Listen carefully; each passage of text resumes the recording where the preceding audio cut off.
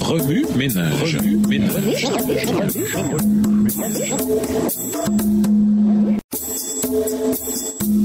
Remue ménage. Remue ménage.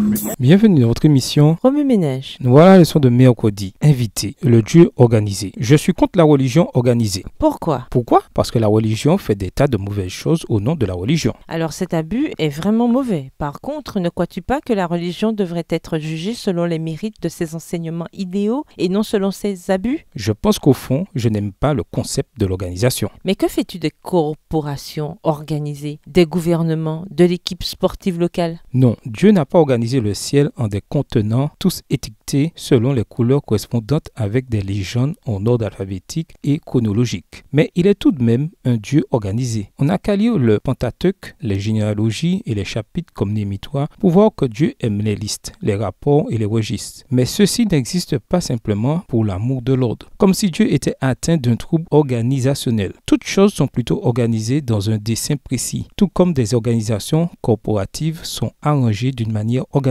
en vue de quelques objectifs, c'est-à-dire le profit. Les organisations spirituelles sont, elles aussi, organisées en vue de l'accomplissement du mandat évangélique. Les organisations, certes, ont négligé leur but original et ont abusé de leur structure organisationnelle. Mais alors que ceci ne devrait jamais se produire, il faut reconnaître que ce problème ne touche pas seulement les églises. La véritable église de la Bible, telle qu'identifiée dans Apocalypse 12, garde les dix commandements et a l'esprit de prophétie. Apocalypse 12, verset 17, Apocalypse 19, verset 10. Elle est aussi une organisation mondiale. Apocalypse 14, verset 6. Et qui est le directeur général de cette organisation? Jésus-Christ lui-même. Car Dieu n'est pas un Dieu de désordre, mais de paix, comme dans toutes les églises d'essai. Que tout se fasse avec bienséance et avec ordre. 1 Corinthiens 14, verset 33 et 40. Remue ménage. En vous appuyant sur Jean 5, le verset 39, que révèle sur Jésus le fait que Néhémie 3 fasse partie des Écritures? En quoi voyez-vous Jésus différemment ou le voyez-vous de nouveau? Prière. Comment réagissez-vous en voyant Jésus de cette manière au revoir. Et à demain si je veux.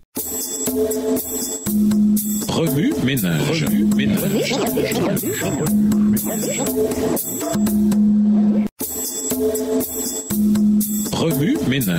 ménage.